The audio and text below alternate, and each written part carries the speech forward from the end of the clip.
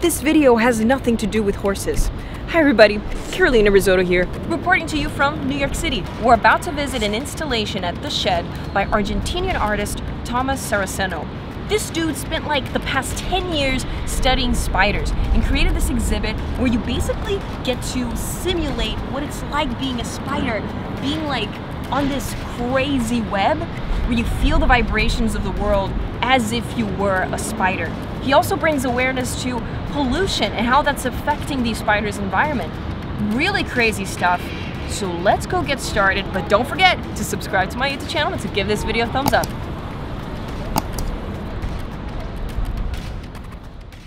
Tomás Saraceno's Particular Matters is a large-scale exhibition with spiderwebs, air, and the cosmic web.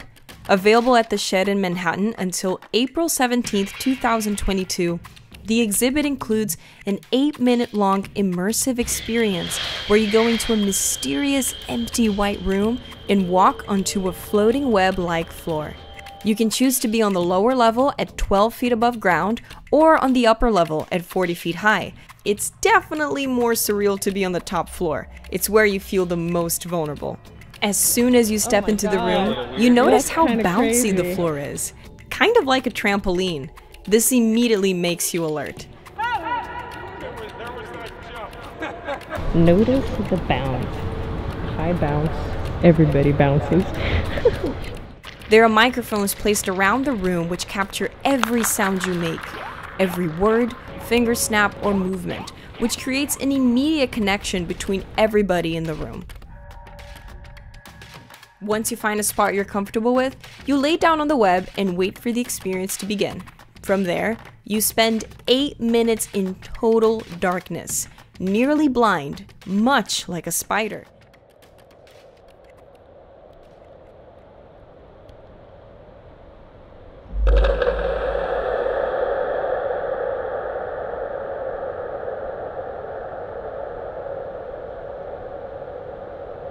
During the experience, you hear and feel vibrations produced by spiders building and interacting with their webs. We also feel muffled voices and city sounds. Since I couldn't see, I had to use my other senses to interpret what was happening around me, which made me a lot more alert than normal. It's as if I was reconnecting with my primal instincts of survival. I was suddenly small and fragile, and no longer part of the dominating human species.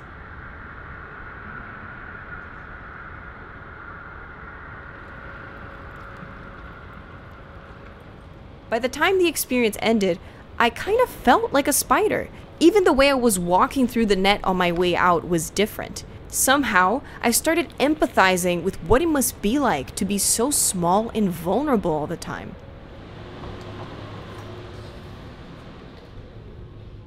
The next part of the exhibit was mesmerizing. Within darkness, you walk through floating sculptures of spiderwebs like I had never seen before. For a while, I even questioned if they were real, because I had never been in an environment where spiders get to expand and thrive like that.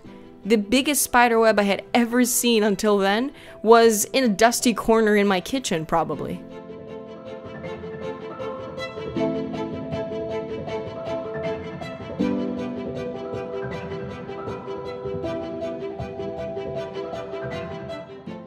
This is absolutely crazy. This is mind blowing. Like, the feeling I get right now looking at this is that we take spiders for granted, okay? We're not giving spiders the value they deserve. And we're messing up their ecosystem with our fucking human ways. And we can't do that. And that's all this room is. It's just a bunch of spider webs all around. I'm absolutely fascinated.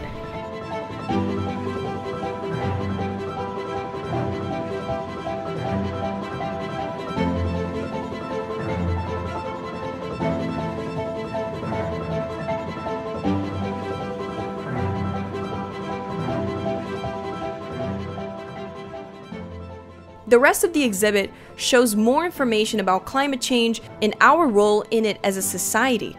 These paintings or drawings right here, they're actually made from pollution extracted from the air in Mumbai. And it's reproducing images of cosmic dust from a 1982 special from NASA. It's crazy that this is like a physical representation of what we're breathing. Pollution is all around us. It brings you awareness to how much us humans are impacting other creatures' environments. These arachnids are just one of the many overlooked species which are completely vulnerable to us, and it's our responsibility to protect them.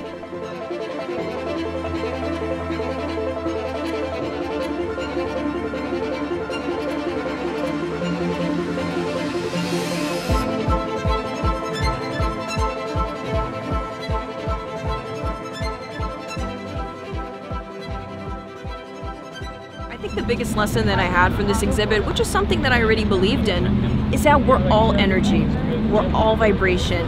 And the energy that you put out there, it impacts other people as well. And you have to be very aware of what you're putting out there because that energy comes back. And all of us creatures, you know, not just humans, we're connected. You know, it's like a global network of living beings. We humans need to be a little bit less egocentric and think about the other creatures that are around us, like the spiders, the dear little spiders. Subscribe to my YouTube channel for more content about culture, travel, getting out of your comfort zone.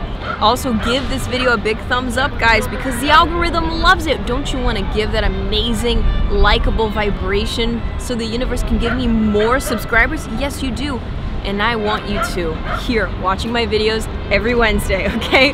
All right, guys, I'm Carolina Rizzotto. I will see you next week.